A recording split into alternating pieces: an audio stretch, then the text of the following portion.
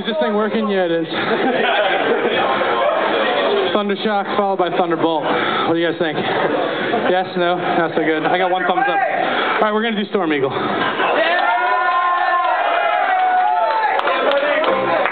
I've been waiting all year for this.